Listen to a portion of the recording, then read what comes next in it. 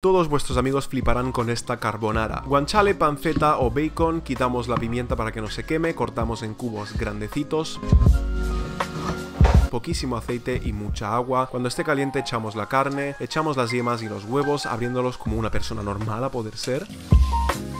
Rayamos el parmesano, ponemos mucha pimienta. Pasamos a una sartén más grande la carne y salamos bien el agua cuando hierva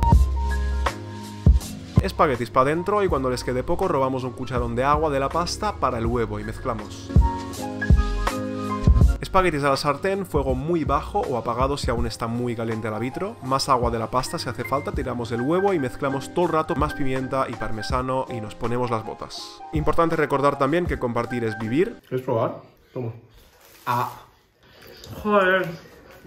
Y al igual que Sol, mi amiga,